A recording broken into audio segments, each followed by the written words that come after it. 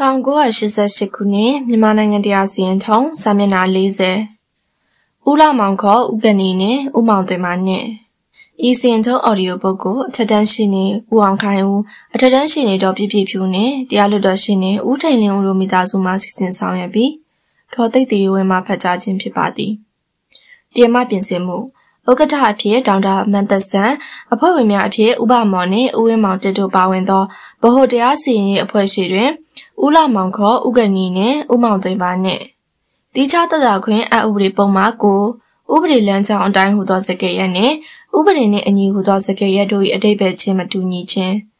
တိကျတတခွင့်အဥပဒေပုံမှာ၈အရာဆွဲဆိုသောအမှုသည်ယင်းဥပဒေပုံမှာ9အရာဆွဲဆိုသောအမှုနှင့်ကွဲပြားခြားနာခြင်းဆုံးဖြတ်ချက်တိကျတတခွင့်အဥပဒေပုံမှာ9ပါဥပဒေလမ်းကြောင်းအတိုင်းဟူသောစကားရက်သည်ဥပဒေနှင့်အညီ legally ဟူသောစကားရက်နှင့်အတိတ်ပဲချင်းမတူပေ။ ပြဿနာတစ်ရက်ကိုတရားရုံးတရုံး၏အဆုံးအဖြတ်ခံယူရန်တင်ပြလာသည့်အတိုင်းတရားရုံးကအဆုံးအဖြတ်ပေးခြင်းသည်ဥပဒေလမ်းကြောင်းအတိုင်းဆောင်ရွက်ခြင်းဖြစ်သည်ထပ်မံဆုံးဖြတ်ချက်တိကျတတခွင့်အဥပဒေပုံမှာရှစ်အရာဆွဲဆိုသောအမှုသည်ပုံမှန်9အရာဆွဲဆိုသောအမှုနှင့်ကွဲပြားခြားနာသည်ပုံမှန်9အရာဆွဲဆိုသောအမှုမှာတရားရုံး၏ရန်တရားအရာမဟုတ်ဘဲမရွှေ့မပြောင်းနိုင်သောပစ္စည်းမှာဖယ်ရှားခြင်းခံရသူကဆွဲဆိုသောအမှုကိုရည်ညွှန်းသည် လျှောက်ထားသူအတွက်ဦးလာတောင်ကိုစားတော်လက်လက်ရီဗဟုတရားရုံးရှင်နေလျှောက်ထားခံရသူများအတွက်ဦးလာကျော်မော်လမြိုင်ဗဟုတရားရုံးရှင်နေတရားရေးအကြံပေးဦးမန်းသိန်းလွင်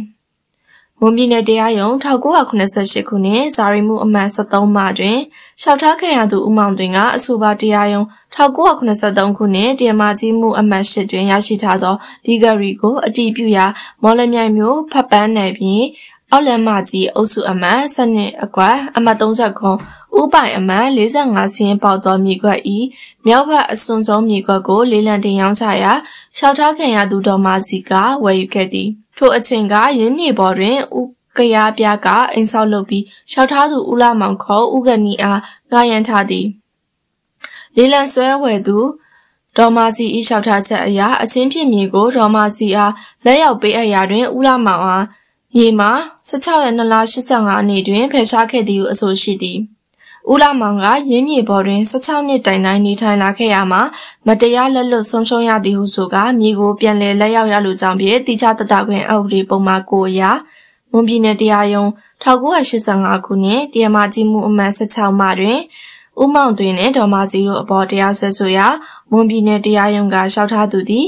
ရင်းပုံမှန်အရာတရားစွဲဆိုခွင့်မရှိဟုကောက်ယူ၍အမှုကိုပါလက်လိုက်သောကြောင့်ဦးလာမောင်ကဗဟိုတရားရုံးတွင်ဤပြင်ဆင်မှုကိုလျှောက်ထားလာသည်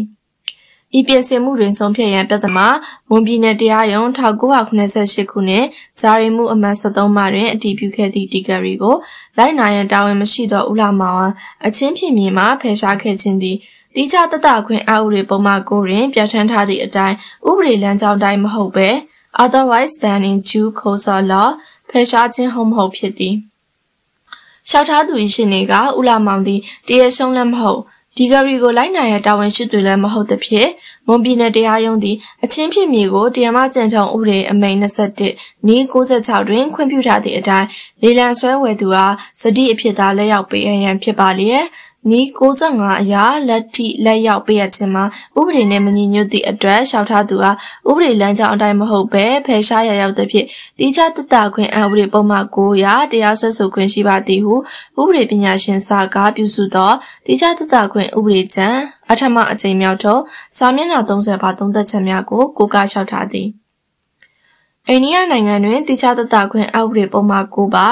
ဥပဒေလမ်းကြောင်းအတိုင်းမဟုတ်ဘဲဆိုသည့်စကားရက်ကိုအတိတ်ပဲကောက်ယူရ၌တရားလွတ်တော်များသည့်အမြင်နှမျိုးရှိကြောင်းတွေ့ရှိရသည်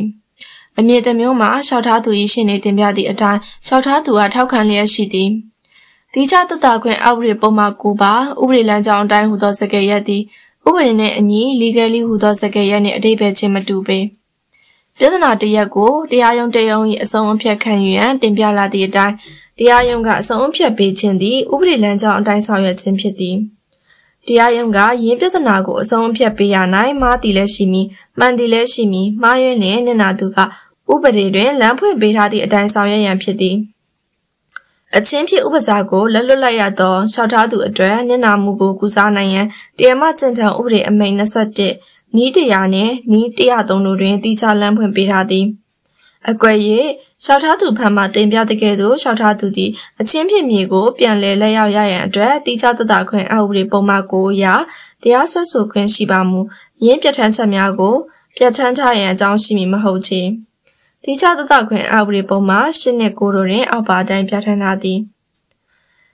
8. A person entitled to the possessions of specific immovable property may recover it in the manner prescribed by the Code of Civil Procedure. 9. If any person is disposed without his consent or immovable property, otherwise than in due course of law, he or any person claiming through him may be sued to recover possession thereof, notwithstanding any other title that may be settled in such suit. တေချာတတခွင့်အပရိပုံမှရှေ့ရာဆွဲဆိုသောအမှုသည်ပုံမှ9အရာဆွဲဆိုသောအမှုနှင့်ကွဲပြားခြားနာသည်ပုံမှ9အရာဆွဲဆိုသောအမှုမှာတရားရုံး၏ရန်တရားအရာမဟုတ်ဘဲမရှိမပြောင်းနိုင်သောပစ္စည်းမှာဖယ်ရှားခြင်းခံရသူကဆွဲဆိုသောအမှုကိုရည်ညွှန်းသည်ဟုကျွန်ုပ်တို့သဘောရရှိသည်ထို့ကြောင့်မွန်ပြည်နယ်တရားရုံးအမိန့်ကိုဝင်ရောက်ဆွတ်ဖက်ရန်အကြောင်းမရှိသဖြင့်ဤပြင်ဆင်မှုကိုတရားရုံးအစဉ်စဉ်စည်းနှင့်တကွာပါလွတ်လိုက်သည်ရှင်းနေစေရဲ့ကြက်တရားသတ်မှတ်သည်